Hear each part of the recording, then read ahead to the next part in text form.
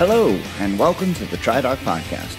My name is Jeff Sankoff, an emergency physician, multiple Ironman finisher, and your host, the TriDoc, coming to you from beautiful, sunny Denver, Colorado. Some interesting and potentially exciting triathlon news floated over the interwebs over the last 10 days. The City Council of Penticton, British Columbia voted unanimously to approve negotiations with the World Triathlon Corporation to bring Ironman Canada back from Whistler to its birthplace in the Okanagan district. If it all works out, a five year deal could potentially be in place for 2020, bringing Ironman Canada back to its roots with a bike course that hopefully would include the iconic Richter Pass, the climb to and descent from Yellow Lake, and one of the most spectacular rides that I have ever done in all my years of triathlon. Now, it isn't a done deal to be sure. Whistler has made a superb host city for both the Ironman and 70.3 races, and there's no indication that Penticton wants any part of a 70.3. Furthermore, I haven't heard or read anything to indicate that Whistler is in any rush to simply let their contract expire when it ends next year. There's no doubt that hosting an Ironman is an extremely costly venture. Estimates are that the burden to Penticton would be almost $650,000 a year for licensing fees and other expenses, and in fact, it was the escalating cost that drove Penticton to sever ties with Ironman in the first place.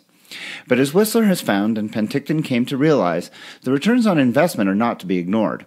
Whistler brings in almost $9 million a year in lodging and dining and generates almost $4 million in wages for local earners during the week of the race alone. Now, for a resort town like Whistler, this may be an average week, but for Penticton, this can be a budget supporter that enables civic spending and drives all kinds of local initiatives. Towns surrounding Whistler have been less than enthusiastic supporters of the race, especially when road closures impacted their communities, but they didn't receive any of the economic benefits. Consequently, the Whistler course has needed to be repeatedly modified to mollify the surrounding townspeople, and as a result, the course has a well founded reputation as being quite difficult. Unfortunately, this has led to declining numbers of participants, so it may well be that even if Whistler was interested in keeping the race, the WTC may wish to see it move. I think a possible compromise, and something that I'd love to see, is to keep the 70.3 race in Whistler and move the Ironman back to Penticton. Ironman Canada was my first Ironman, and having done that as well as the 70.3 in Whistler, I can attest to the magnificence of both courses as well as the more difficult nature of the Whistler course, though Penticton's course was never thought of as terribly easy. I, for one, would sign up in a heartbeat if Penticton got the race again, and I would bet my bottom dollar that it would sell out very quickly. Here's hoping that things work out so that everyone's happy the people of Whistler, those in Penticton, and of course the athletes who could stand to benefit hugely from races in both venues. On today's podcast, Tim Crowley is an accomplished triathlon coach to professionals, elites, and age groupers, and he has made a career out of the development and implementation of strength and conditioning training for triathletes as well as in his new role at Florida's Montverde Academy. He joins me today to discuss the importance of this kind of training and how he leverages it to make athletes of all types and ages stronger and faster and as much as possible resistant to injury. The triathlete Routard visits eastern Canada and my home province of Quebec to explore the 70.3 and Ironman races in the beautiful Laurentian village of Mont Tremblant. This is another spectacular venue to race at, and one of the only races where you can indulge in an authentic poutine as a post race side dish. First, though, I have a medical question to answer. With Memorial Day now come and gone, we are unofficially into summer. And with that, along with longer days, barbecues, and warmer temperatures, comes concerns over exposure to the sun. There's a lot of conflicting information out there about sunscreens, and on this episode, I'm going to do my best to try and help you understand the facts. That's coming up right.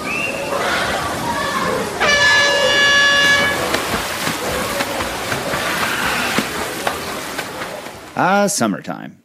When the living is easy, the fish are jumping, and the cotton is high. Now, if you're a jazz fan like me, those words will bring to mind the classic Ella Fitzgerald tune and evoke the hot and humid afternoons when the cicadas are humming and your glass of sweet tea is glistening with sweat, reflecting the late afternoon sun beating down on you from a cloudless blue sky. of course, while you lose yourself in the imagery, allow me to remind you that all is not quite so perfect in this slice of nirvana, for the harmful effects of Old Sol are all too well known to us in the medical world. Sun exposure, you see, is well known to be a significant contributor to all forms of skin cancer. And in the last decade, rates of both non melanoma and melanoma skin cancers have increased quite dramatically. Between 2002 and 2006, 3.4 million Americans were treated for one of the various forms of the disease, but that number had risen to 4.9 million between the years 2007 and 11. Consequently, the costs associated with treatment have more than doubled from 3.6 to 8.1 billion dollars every year. Now, fortunately, awareness of the dangers of sun exposure have increased over this time period as well, and dermatologists and other physicians have been effective at educating the public of the importance of employing the three primary strategies to mitigate the effects of the sun over the long term. Those are 1. To stay indoors or in the shade in order to avoid sun exposure during peak hours, 2. To wear protective clothing, and 3. To use sunscreen. Now, the last of these is the subject for my listener question for today's podcast. Sunscreen has been in the news quite a bit recently as there has been a lot of coverage of the negative environmental impact that some of the chemicals used to protect us from the sun can have. The actual question I received was along the lines of What's the deal with sunscreen? which I took to mean How does it work? Is it effective? What are the side effects of using it? And do I need to bother with the stuff? As always, the answers to these questions are not entirely straightforward, but I'll do my best to shed some non ultraviolet light on each one in order to help you make some more educated decisions. First off, it's probably worth a brief discussion on what it is about the sun that's so bad for our skin in the first place. Sunlight is obviously incredibly important to life on this planet. But along with providing us with illumination by which we can see the world around us, the sun also casts out radiation that is invisible to the human eye, but constantly present and in many ways equally important. At the low end of the frequency spectrum of solar radiation is the infrared radiation that provides the warmth that we so enjoy during the spring and summer months. And at the high end is the ultraviolet radiation, that while important for photosynthesis and is the illuminating light for much of the insect world, is also the problematic type of radiation where our skin is concerned. Ultraviolet or UV radiation expands along a spectrum of wavelengths. At the shorter end are the UVB rays. These rays are the dangerous ones, implicated in the development of sunburns and skin cancers. Longer wavelengths of UV radiation are referred to as UVA rays, and while also implicated in the development of skin cancers, they are less dangerous, though they do have a role in the aging process of the skin seen with prolonged sun exposure. When exposed to sunlight, People with fairer skins are prone to sustaining sunburn, which is simply a radiation burn caused by the UVB rays. Darker skinned people can also sustain sunburns, but are less likely to do so because of the increased presence of a chemical called melanin. This pigment absorbs UV light and prevents it from causing damage. With exposure to the skin, people with all types of skin, fair or dark, will have increased production of melanin in order to protect against repeated sun exposure. Now, it's well understood that the severity and frequency of episodes of sunburn has a very strong correlation with the development of skin cancers later in life, and so it's extremely important to try and decrease that incidence, especially amongst children. Clearly, then, if we as triathletes who spend a great deal of time outdoors training wish to protect ourselves from the effects of the sun exposure, then the use of sunscreen seems like a no brainer. Well, one would have thought so, but unfortunately, things aren't quite that straightforward. Sunscreens refer to a cornucopia of products that come in all manner of forms or applications and strengths, but all of which contain one or more chemicals with the ability to absorb or reflect UVA, UVB, or both types of radiation. These chemicals can be organic, such as PABA or benzophenones, amongst many others, or they can be inorganic, such as zinc or titanium oxides. The protective effect of these products is determined by the concentrations of each individual chemical, as well as which chemicals are combined together, and is reported as the sun protective factor, or SPF. SPF is quite simply a reflection of the amount of time that it takes to get a fixed dose of UV radiation when wearing the sunscreen versus when you are not. For example, a sunscreen with an SPF of 15 indicates that it will provide the wearer with protection, such that it will take 15 times as long to get the same dose of radiation than it would take without the sunscreen. Or at least that's the theory, because here's where it starts to get complicated. First of all, though, it's important to note that SPF does not give any indication as to exactly how long you have in the sun before you get to that dose of radiation.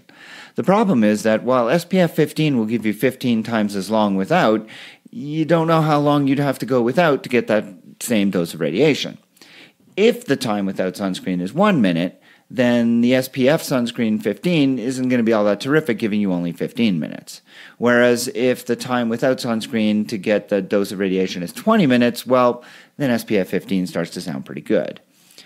The problem with SPF is that studies have shown that different labs can measure the same sunscreen and come up with pretty different values for SPF.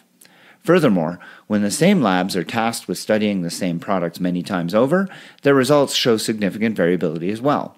In other words, SPF is neither accurate nor precise. Worse, the current standard for determining SPF is to have a product measured one time by one lab. And so, based on this study, reported SPFs may have no relation to reality whatsoever, leaving consumers with a false sense of security. Another issue with SPF is misunderstanding by consumers of what the numbers actually mean, particularly when they get up into the higher range. For example, sunscreen with an SPF of 30 has enough active ingredients to block 96% of UV radiation. Sunscreen with an SPF of 50 blocks 97% of UV light. But to block that additional 1% of radiation, there's often twice as much of the active ingredients needed in the formulation of the product. Finally, and this is probably the most important thing to understand about SPF, the SPF is determined by using a fixed amount of product on a small area of skin in the lab, 2 milligrams for 1 square centimeter of skin. When researchers have looked to see how much sunscreen people actually use in real life situations, it turns out to be substantially less than that. As a result, while the SPF of the product can be 30, assuming that number is even accurate in the first place, because it's being used in an amount that is so much less than is needed to actually get that value, the actual SPF ends up being far less than what it should be. The end result of all of this is that consumers are not getting anywhere near the amount of protection that they think they are, and this likely contributes to the findings of many studies that have been done over the years on the efficacy of sunscreen in preventing both sunburns and, more importantly, skin cancers. You see, it turns out that the use of sunscreen is actually associated with higher rates of getting sunburned.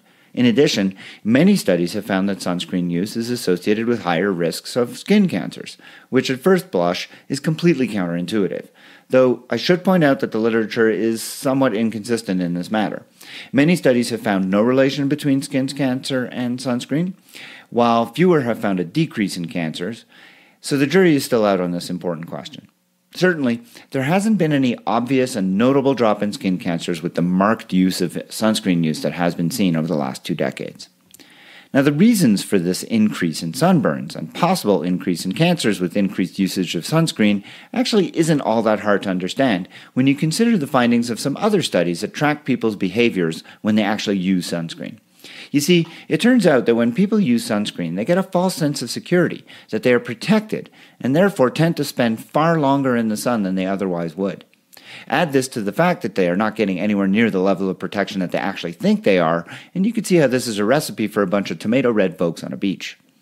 And all of this leads us to the last question that we have to consider related to sunscreens, and that has to do with these chemicals and what they're doing to us in the environment. Oxybenzone is one of the most popular components used in sunscreens, and it has garnered a lot of attention recently because of its harmful effects on the marine environment and its capacity to stick around in high concentrations outside of the marine environment, really all over the place. Oxybenzone tends not to be absorbed through the skin when it is applied in sunscreen, and yet the chemical has been found whenever it has been measured in the blood, urine, and breast milk of humans all over the world.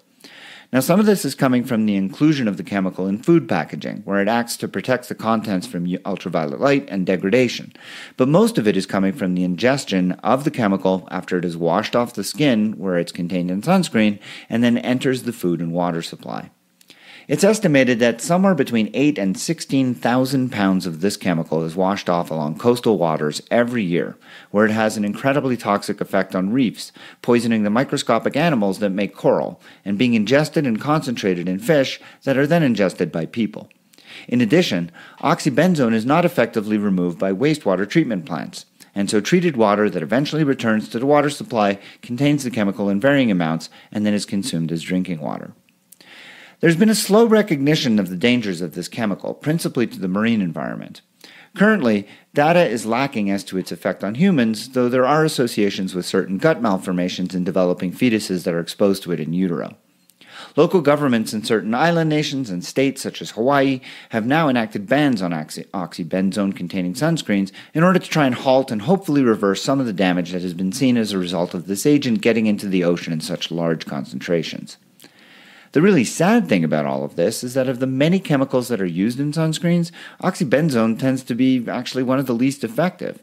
It has physical properties that have led to its widespread use, but other agents, such as zinc and titanium oxides, are far superior at blocking much wider ranges of ultraviolet radiation and confer far better protection without the environmental impact. So, knowing all of this, what is one to do in order to effectively protect themselves from the harmful effects of the sun when spending long hours outdoors during the summer months training for and racing triathlon? Well, there's no doubt that skin cancer is a major issue and continues to grow more common, so preventive measures are critical, and the three strategies that I mentioned earlier remain valid.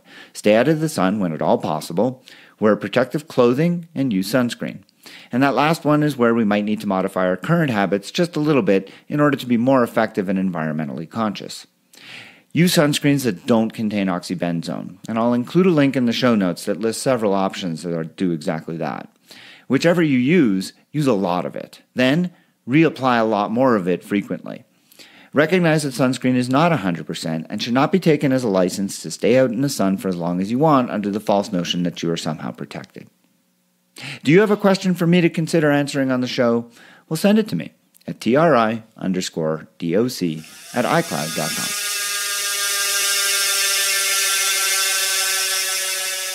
My guest today is Tim Crowley.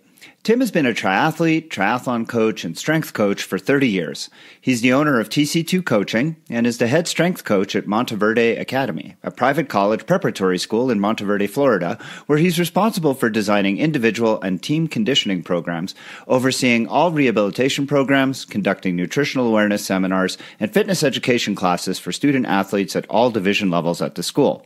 Tim was a 2008 Olympic triathlon coach and has coached athletes to world championships, Ironman championships, duathlon world champions, and numerous national championships at the elite level. Tim was the 2009 USA Triathlon Elite Coach of the Year and in 2007 the USA Triathlon Development Coach of the Year. He holds the highest coaching licenses in triathlon, cycling, and strength and conditioning. Tim is also a frequent speaker at national conferences and clinics. His articles have appeared in all major triathlon publications. Tim has also had great success coaching age groupers, including one specific tri-doc from a middle of the packer to his first three Ironman 70.3 World Championships over 10 years of working together. Tim, thank you so much for that and for joining me on the podcast today. Hey, you're very welcome. See, I was going to add that last part about you if you didn't do it. now, I know that over the time that we worked together, I learned so much from you about the importance of strength and conditioning with respect to becoming a successful triathlete. How do you integrate that philosophy into your work with high school athletes who may be at different levels of physical and emotional development? Yeah, it, it, honestly really does. It doesn't matter that much. Um, it do, it's really not that much difference, I think, because a lot of the things stay the same. With the younger kids, I mean, a lot of it's learning. I think kids, uh, you know, they want to think, I just want to be big. I want to be big. And really, our objective there is to teach them. I mean, we tell the kids and the parents when they come to the school is like our objective with our high school kids is not to make them big. One, we want to keep them uninjured, so they're going to be on the field, you know, on the court every day. The second thing is we're going to teach them proper skills. If we teach them good, proper movement skills and lifting skills, then they're not going to get hurt in the weight room, and we're setting them up for later, uh, you know, success. And then third is performance. But if we do the first two, and really what I've learned is consistency. And I think that probably is the biggest thing that crosses over with the endurance athletes. It isn't doing a lot. It's not doing, you know, a couple hours of, of strength work during the winter months. And then when the summer comes, you, you just forget about it. It's really based around, you know, about two 30 to 35 minute workouts a week. And it, it, that's actually what began working with the endurance athletes when I went to Montverde I employed that only because we had so many teams. We had so you know a little bit of time. So you basically work on you know keeping the key important things and then throwing out the rest. No fluff. And um, we do it because of time based. But then when you look at the endurance athletes, the triathletes, it's really the same thing. They have a minimal amount of time, um, minimal amount of energy left after their swim, bike, and run training. So if I can get them to do two 30 minute workouts a week, then that, that's really what we're looking for. And that actually kind of began working with a lot of the elite pros I was working with. They were just so tired and I had to convince them, look, this is really important. So we based it off that. I think if I can get 30 quality minutes out of someone twice a week over, you know, a long period of time, we're going to see, um, you know, very good results and it really decreases the amount of injuries. With uh, a strength program and a triathlon training program, is it really just about preventing injuries or do you see it as having a bigger role than that? No, it's a much bigger role. I mean, we look at the injuries first, I mean, if you look at it, you know, I always tell when I'm working with coaches or speaking to coaches and say, look, we could look at it from performance based or look at it from a business standpoint. If your athletes are injured, what are they paying you for? You know, so you need to keep them healthy. But the same thing, if we keep them healthy, we know that they can train on a you know consistent basis. They're going to get better. Um, the other part of that is that from performance stuff, and it's it really works on the same way. You know, we get a lot of muscle imbalances that happen in endurance athletes only because of the pattern overload, um, especially when it comes to cycling. You know, look at the amount an athlete is cycling, sitting at their computer. You get all this, you know, upper cross syndrome forward shoulders, bad posture. So really correcting a lot of that. Plus their glutes are going to get weak by being in a you know kind of a flexed hip position. So a lot of it isn't isn't doing specific movements to swimming, biking, and running per se, as much as is doing the opposite movements to create balance, um, so that their joints move properly and they're not going to get the typical uh, you know overuse injuries. Now, one of the things that a lot of triathletes worry about with uh, respect to strength programs is the idea that lifting weights is going to result in something you said earlier, putting, you know, becoming big, putting on mass. Yeah. So, how do you keep or how do you design a program for triathletes that will keep them from putting on muscle mass? Right. Well, the first thing is most triathletes, your typical triathlete, no matter how long they're going to spend in the gym or, ne- or, or do strength work, are probably never going to get big. Um, plus, we know the nature of how much endurance work they're doing. That's not going to happen, especially if you're doing stuff with a, you know, like say a 30 minute program twice a week focused on quality. Now, I think one of the big mistakes people do, and, and I think coaches make the mistake as well, it's an endurance sport, you know, so let's give them, you know, low resistance and high repetition stuff. And, and the only thing you're likely to get out of that uh, aside from wasting a lot of energy, is maybe an overuse injury or tendonitis. So really, that the science is really clear on this now. Is it's quality strength, and when we say quality, we're looking somewhere between you know the amount of weight you can lift uh, you know for roughly between three and ten reps say you know, you start to get below three or four, you're probably risk, you know, putting on much more higher risk to benefit because of the high loads.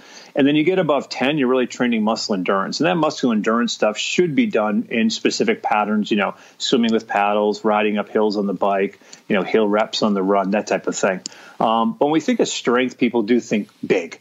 And, and a lot of the benefits is going to come from just really the nervous system benefits, learning how you know the muscles and everything coordinates to create movement. Because to create shorter workouts, you've got to have multi joint full body movements, which is your squatting, your pressing, your pulling, your hinging.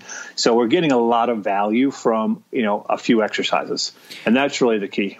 And I think you know what you said is super important, and I want to I want to restate it uh, in order to emphasize it because I think it might have slipped past a lot of listeners, and that is the number of reps, and it's the amount of weight that you're lifting should be enough to get you between three and 10 reps per exercise. If you're right. doing less than that, it means you're lifting a lot more, a lot more weight and therefore you're looking to build mass. If you're doing more than that, then you're looking to not build strength, but you're actually looking to build muscle endurance. So it's right. really the amount of weight that you're lifting should be enough to, you know, fatigue you between three and 10, but shouldn't be too much to overwhelm you. Correct. Yeah, because what bodybuilders do, bodybuilding isn't lifting heavy weights, lifting moderate weight at moderate reps. And that's ton where, where a lot of athletes tend to fall into. They're not, not sure. So they'll go like, uh, you know, 12 to 15 reps for three or four sets. That way the weight's moderate. That's what's going to give you the um, the muscle size and muscle hypertrophy, which is what we don't want because it's our power to weight ratio, which is real important. So we want maximal strength for you know without additional body weight. Right. And what goes along with that, which I think people often you know is is the key is power. You know, with any sport is power, but the key to power is is you know there's a, a force or strength side to it, and then the speed. Most people already have this are working on the speed. Most people lack the strength side of the equation. Now, the other thing that goes along with with quality strength, which we, we think you know we think strength, we think muscles, is tendons and building up tendon strength because most you know, most endurance, most triathletes are going to, you know, suffer from some sort of itis due to overuse. You know, a tendonitis is the most typical. So a lot of what we do with quality strength is building your tendon strength, and that's I think one of the key things to you know, uh, you know, prevent aging in, in the endurance athlete. Um, it, again, and, and, then, how much is related to diet? Uh, I, you know, I mean, I think you see a lot about bodybuilders, you know, taking in huge amounts of protein and yeah. taking supplements.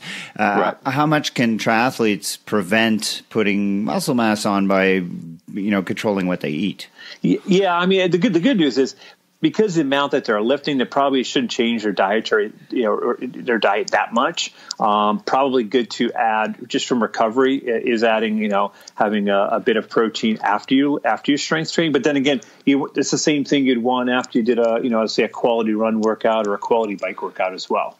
Um, so it doesn't change much. And because you're doing like 30 minutes, it really doesn't change your caloric expenditure that much. Right. Um, but it does it does lend itself to leanness because one of the things we want you know one of the things we see as people get older, their weight may stay the same, but we know that their lean body mass is is going to drop, and you know the number they use is roughly after about the age thirty, um, you will lose a pound, a half a pound of lean muscle every year. So that's five pounds per decade.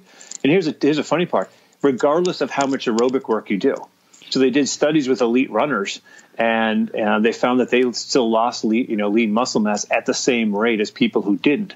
So strength training plays a very important role of maintaining our, our, our overall muscle mass, and we can often attribute this as, as we get older, people tend to get slower. They think that's part of the aging process, and really part of it is the loss of fast twitch muscle fibers.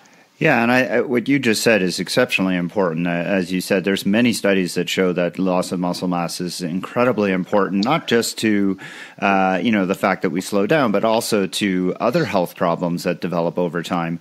And it's been shown, as you mentioned, that strength training can help modulate that and mitigate that. Uh, health, tra- uh, sorry, strength training as part of an overall exercise program. It's really important to say.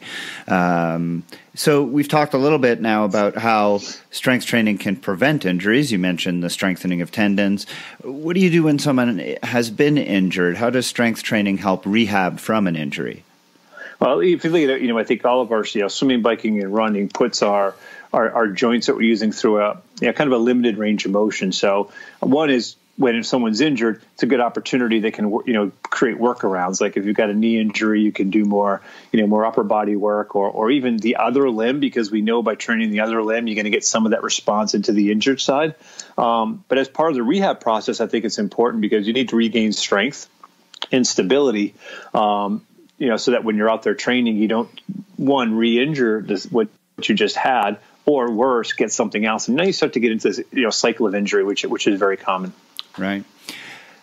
How do you modulate strength and conditioning through the course of the year with respect to volume and intensity? Uh, well, that's a, that's a good. There's a, there's a lot of projects I'm working on now, and uh, some stuff will be rolling out in the next six months. But part of it is, is really looking at people way smarter than I am in other sports uh-huh. um, and bringing that in. So basically, I mean, one of the things w- we've been working on a lot is, a, is kind of a kind of a triphasic approach, which is really sounds really technical, but it's not because every movement you have three parts. You've got a concentric where you're moving, you know, against the resistance. You've got an eccentric where you're fighting gravity against it, and then you have an isometric when you're pausing in between both. Well, your concentric, which is typically your up phase in most exercises, your intent should always be to try to move it fast. So obviously, if the weight's a little bit lighter, it's going to move very fast. And now we're training for power. If it's heavy, even though it might not be moving fast, we're trying to accelerate it. We're trying to move it. That's where we're going to maximize our strength and power.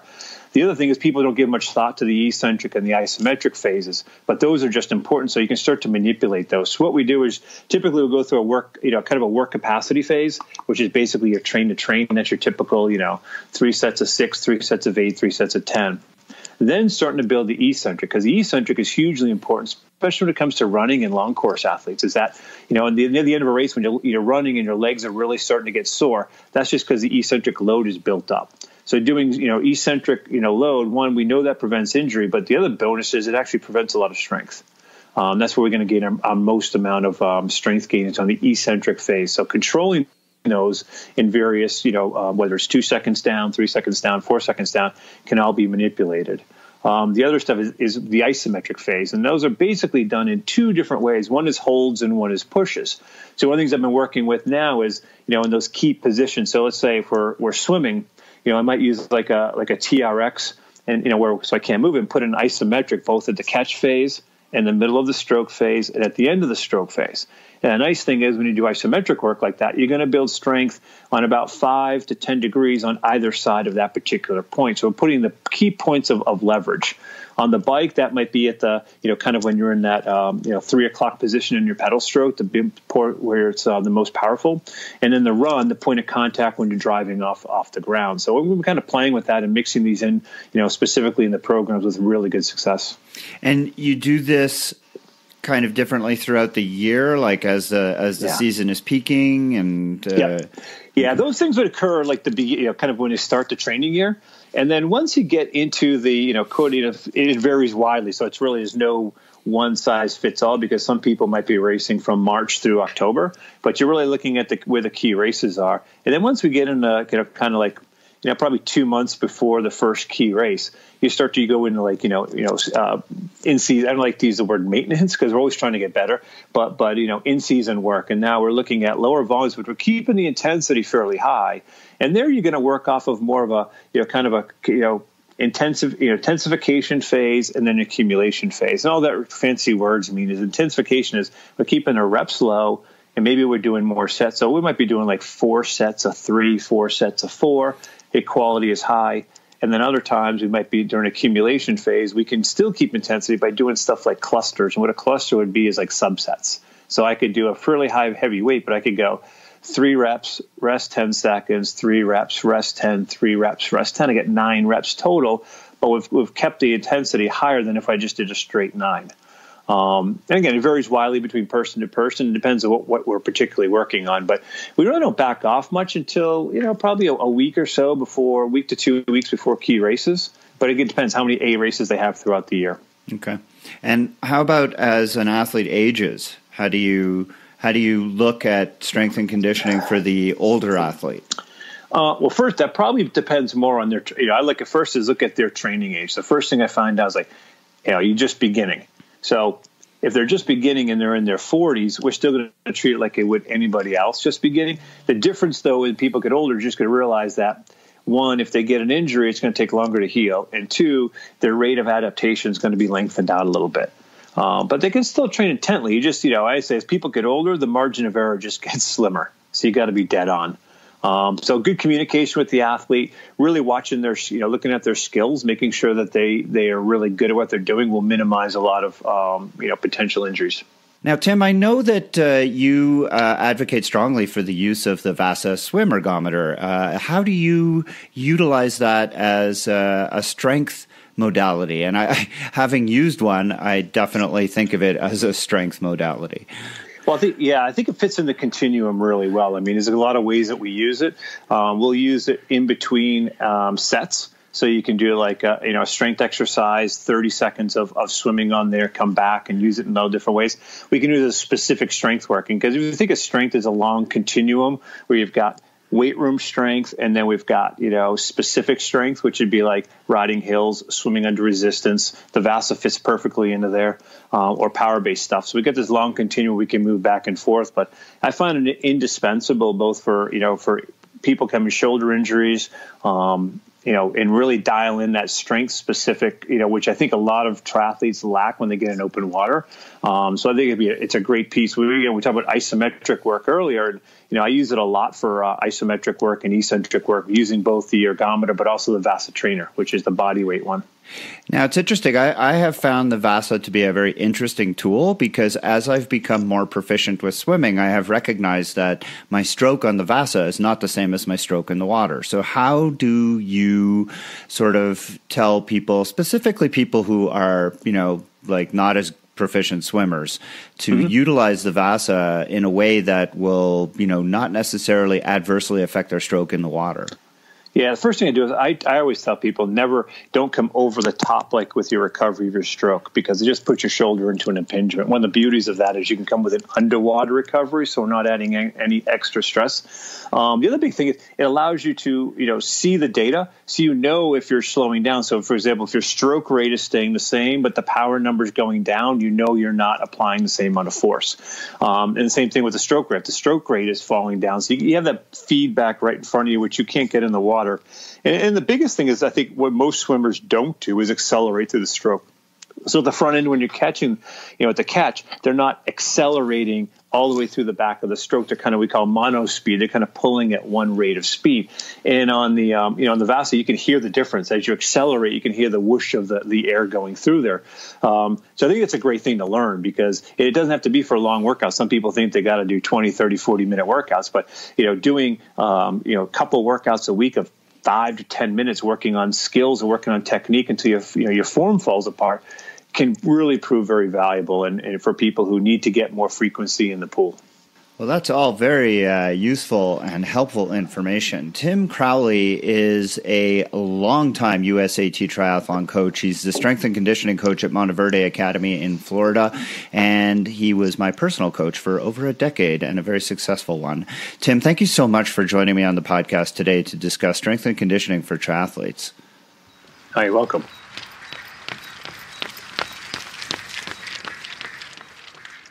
And now it's time for the Triathlete Routard, that segment of the show when I am joined by a guest to discuss a race on the Ironman and Ironman 70.3 calendar that is a worthwhile spot to go to visit to race. For today's episode, I'm going to be talking about the races held north of my home city of Montreal, those in the beautiful Laurentian mountain town of Mont Tremblant. And joining me to discuss these races is Catherine Kay. Kath is not only an accomplished triathlete, but also happens to be my sister in law. Kath lives outside of Toronto, Canada, and is a member of the Mac Attack Triathlon Club. She has raced numerous Ironman and 70.3 races across the continent and around the world, including the last two 70.3 World Championships. She raced Mont Tremblant 70.3 in 2017 and 2018, and the full Ironman in 2016. And this year is going to be racing the half in Mont Tremblant once again, before racing in Ironman Wisconsin in the fall. But she joins me now to talk about the Mont Tremblant races. Welcome, Catherine. Thanks, Jeff tell me, uh, the Mont Tremblant races are uh, very popular, and my understanding is that they sell out very quickly. So, uh, what is the deal? How fast do you have to get in, or are you uh, likely to miss the boat? You have to sign up uh, right away, definitely the same day. Uh, it often sells out in a few hours. Um, often uh, if you're part of a triathlon club you have a link to register before it opens. So that's another way to get in. And this is really principally for the 70.3 race. I know that is the one that is super popular and goes sells out very very quickly correct? That's right. Yes that's right. Yeah. Yeah, because I looked at the Ironman uh, site, and that race is actually still open, albeit at the most expensive tier, so probably approaching capacity at this point. But here we are recording this in mid May, and uh, there is still availability for the Ironman race. The Ironman 70.3 has indeed been sold out for quite some time, although there are foundation slots available, those, of course, being significantly more expensive. Uh, what about getting there? Uh, Mont Tremblant, not the uh, easiest spot in the world to get to. So, uh, is there the ability to fly in there? You can fly into Mont Tremblant. There's a small airport. I'm not sure what airline flies there. Um, and uh, it's not the the flights aren't very frequent. Otherwise, the best bet is to fly into Montreal at Trudeau Airport and just rent a car and drive uh, about two hours to get to Tremblant. Now, one of the things I don't miss having left Montreal many years ago is Montreal traffic, especially traffic heading to the Laurentians. Uh, so that two hours is on the, you know, that's on the fast side. I, I can remember yeah. it taking significantly longer, especially if you're going up towards a weekend. Um, when should people plan to get there? I usually try advance of the race. I usually try to get there for the Thursday. Um, I just like to settle in and um, and enjoy the the vibe before the race. Otherwise, I would say definitely by Friday. And this is the kind of race, I mean, this is the kind of setting for a race that's really beautiful with a lot of things to do. Uh, if you're going with your family, I, I, I mean, I can't you know, say strongly enough, this is the kind of place to take the family for a vacation and make a vacation around the race. Uh, I, I would encourage people to go for longer to get there before and just enjoy the area and enjoy the activities. And I know you and I have talked previously where you said that you actually like staying after the race as much as possible. I just find I'm more relaxed after the race.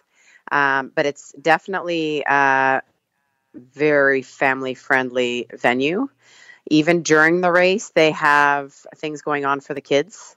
Uh, sometimes it can be long, uh, even the three hours or two hours on your bike. Um, there's always things around the village to do for kids. They even have a race for the kids, um, like most Ironman or half Ironman events, um, the day before the race. In terms of uh, lodging considerations, uh, I know that uh, when the World Championships were there, I saw how local cottage owners really like took advantage of the race and of the participants of the race and really jacked up prices and also made pretty onerous demands in terms of uh, length of stay requirements. Is that something that continues with the regular 70.3 and Ironman races?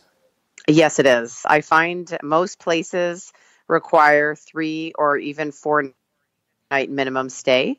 Uh, it is it is expensive to stay in the village, and I've never looked at prices outside the village, but it's definitely worth staying in the village, even if it's a bit more expensive, um, just for the convenience, and also just to experience the whole venue. It's it's just amazing.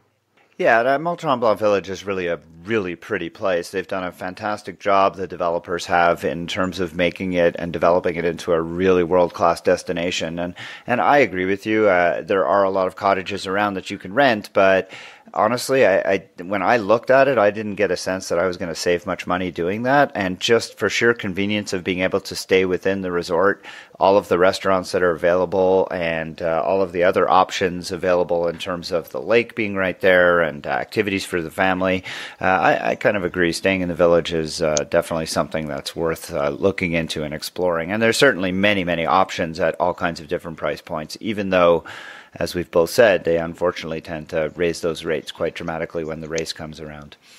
Uh, okay, so we've talked about how to get there. We've talked about where to stay. I think it's time to turn our attention to the course itself.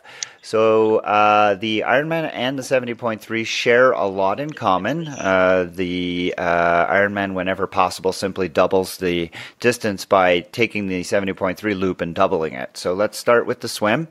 Uh, what can you tell us about the swim? Where is it located? And uh, is there anything specific about it that people should be aware of? The swim is in uh, Lac Tremblant. Uh, it's a beautiful lake, very clean. Um, the course is, is, very straightforward. It's rec- rectangle, um, easy to sight. Um, the one thing I would recommend, because it is a bit of a hike if you're staying in the village to get to the swim start. So just to make sure you give yourself enough time well before your wave starts or your rolling start starts to um, to get to the start of the swim. Sun does the sun ever become an issue? Uh, I know that in that part of the world, uh, sunrise can be very early, uh, but you've got you're surrounded by mountains there, so I don't know if the sun ever becomes an issue with sighting. I've never had a problem uh, in the races I've done with with sighting or the sun being in in your face.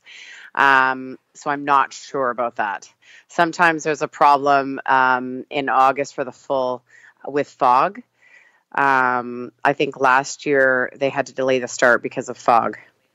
Okay, and that obviously more a problem in August when the nights can be significantly cooler, and therefore in the morning you can get that fog over the lake. Uh, okay, and then uh, you know, there's. I'm assuming it doesn't have the Lake Placid cable running the whole way to give you the nice length.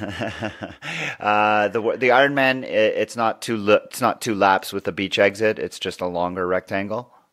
That's right. Okay. Still, still a very nice, easy swim.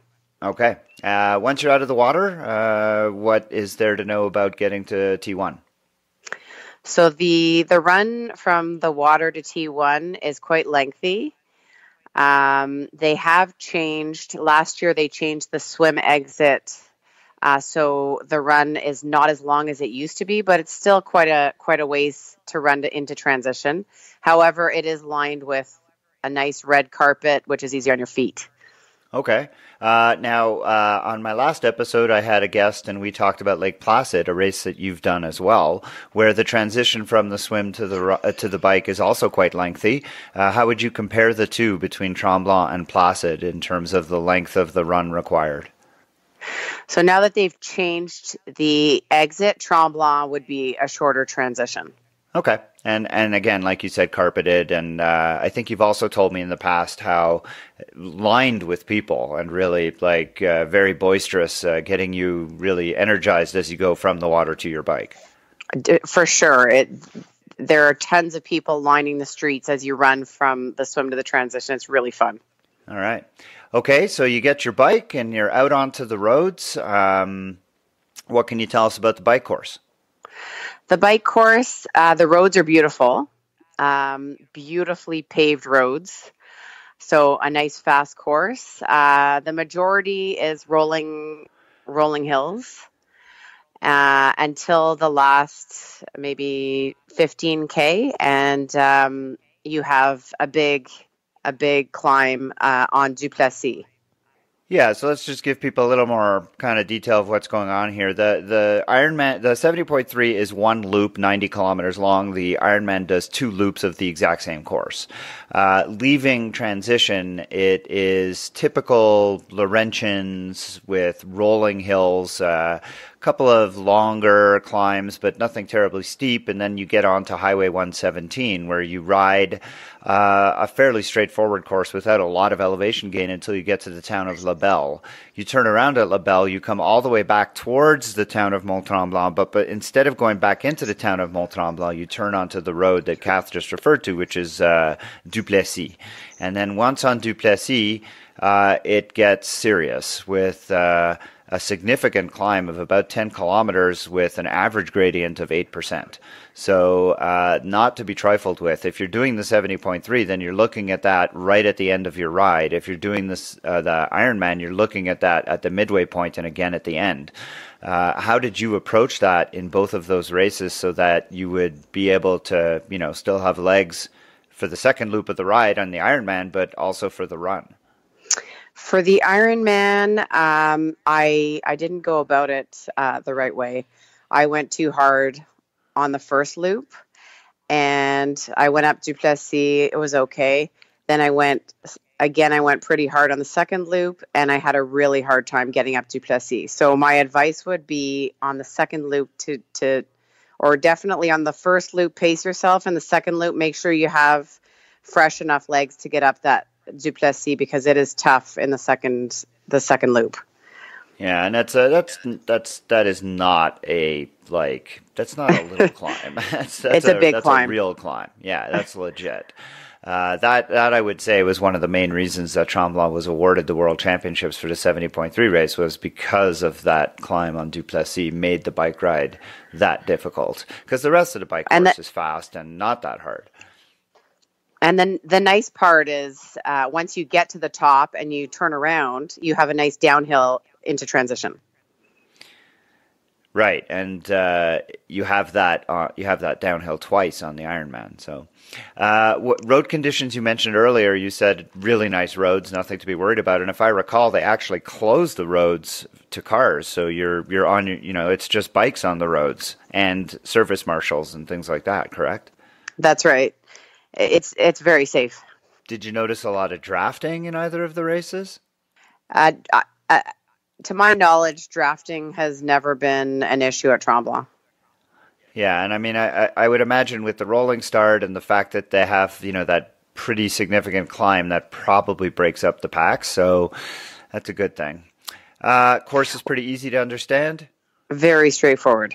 And then what about any danger points? They so going down Duplessis, uh, as you can imagine, um, the speeds can go up to 60 kilometers an hour on your bike. Um, so they have introduced two no passing zones uh, on that hill. One is on a bridge, and the other one is one small section on Duplessis, where you're absolutely not allowed to pass anyone going downhill. And, uh, you know, riders often get frustrated by that, but those no passing zones are there for a reason. My understanding is there was a pretty significant pileup uh, a few years ago. I think the year you did the Ironman, actually. That's right. And uh, I was there when the director, the race director, introduced the no passing zone, and um, we everyone everyone who was there supported his decision. Yeah. So, I mean, those things are, you know, sometimes we take them in isolation and we get frustrated by them, but the fact of the matter is they're based on safety and they're really there to keep everyone upright and having a, a good day. So, uh, you know, just uh, remember to do that and it's not going to it's not going to delay you too much. Uh, okay. So And they're very strict on that as well. Yeah, I, I understand. I mean, they have marshals right there just watching it. Yes. Okay. All right, so you've managed Duplessis once if you're in the 70.3, twice if you're doing the Ironman, and now you're coming back to transition. Is transition in the same location as uh, was T1? Uh, yes, it is. Okay, and then you're out onto the run. So What can you tell us about the run course? Every time I do the run, I always forget how hilly it is. It is a challenging run course. Uh, it's it starts off and and, and the seventy point three is what the seventy point three is one loop and the Ironman That's is right. two, correct? Yeah. of the same course. All right. Um, it's it's definitely um, it, there are there are some good hills, um, but there are lots of volunteers along the way. Lots of people cheering you on, and it's very scenic. I know that you know the hill I'm familiar with is the one that goes up through the heart of town, and that is again not an insignificant one. That that comes at the end of each loop. Uh, there's obviously a lot of other ones that are out there on the course that I haven't seen. I imagine uh, in some it's uh, a definite leg beater. For sure, you you have to pace yourself on the run in that in that race. But the payoff uh, is that when you get to the summit at the top of the, the town after that long, grueling climb, uh, you get a downhill to one of the best finish areas that I've ever seen in Ironman. It is amazing. So you go up that final hill towards the chapel, and once you turn the corner, it's just lined with people, and you can hear them from a kilometer from the finish, and it just pumps you to the end. And it is one of the best finishes I've ever done. It doesn't matter if it's half or the full, it's an amazing experience. Yeah, I've, I mean, I was there for Worlds. I didn't get to participate because I was injured, but uh, I saw that, and uh, I definitely remember what a, a, spectacle it was. So yeah, I can, and they've done a great job at, at like dressing up the village to really make that finish area really something else. It's also great for spectators because people can actually be sitting at restaurants on the patio cheering people on. We talk a lot about destinations, and this is definitely one of them. Uh, I mean, a great place to go visit for a race, especially if you're going with a family. Uh, I always encourage people to take their time and uh, stay before or after this race. What kind of uh, activities are there for people to do uh, if they do decide to take advantage of the area? There are tons of family friendly fr- family friendly activities in the area. There's hiking. Um, there are many lakes within walking distance from the village uh, to do any sort of water activity. Uh, there's treetop trekking, anything you can imagine. It's it's you'll never run out of things to do.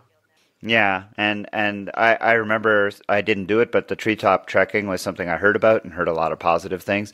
There's the Petit Train de Nord, which is uh, an old rail line that's been converted to a bike path that runs for hundreds of kilometers and uh, connects to the village. Actually, you run on that as part of the run course, don't you?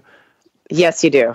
Yeah, so uh, you'll see part of that as you do the race, and then you can actually. That's a great family friendly bike uh, ride to do for as long as your kids are able. Um, and then there's lots of mountain biking and, like you said, water sports. It really is a terrific area. Uh, when we think about this race, uh, both in June and in August, we do have to consider the fact that weather can be fickle up there. What kind of uh, weather have you had for these days? When I did the full, it was pouring rain the entire day. Um, so that was challenging. Uh, the two halves I did, uh, the weather was pretty good. The water can be chilly, uh, definitely for the half. Um, so you have to be prepared for that. Uh, so you never know what the weather's going to be like. Yeah, and I would say that there are two certainties about this race. Number one, it's always going to be wetsuit legal because in June that water is definitely going to be brisk, and in August it still won't have warmed up that much. Uh, and uh, then the weather is going to be entirely unpredictable. Every time I follow the weather leading up to that race, be it in the spring or in the late summer, it seems like the forecast will change day to day leading up to the race. And so any forecast you see is not entirely uh, trustworthy. So, like you said, you could have rain and cool weather, or you can have really baking hot sun the entire time. And it's kind of, you just go and hope for the best and bring with you your best effort and hope the weather participates and, and allows that to happen. Great. Any other final parting words for uh, our listeners about these races? Well, I just want to say that the volunteers uh, at Tremblant are amazing. The whole community gets involved, and it's just an amazing experience to do that race. The venue is great. Um, they have a, a stage playing music all day. It's just, it's definitely a race that you want to put on your list. All right. Well, Catherine Kay is not just an accomplished triathlete and a participant at uh, two 70.3 World Championships. She's also my sister in law. And today was uh, a pleasure to have her as my guest on the Triathlete Routard to talk about the Ironman and Ironman 70.3 races at Mont Tremblant, Quebec. Thanks for being here today, Kath. Thanks for having me, Jeff.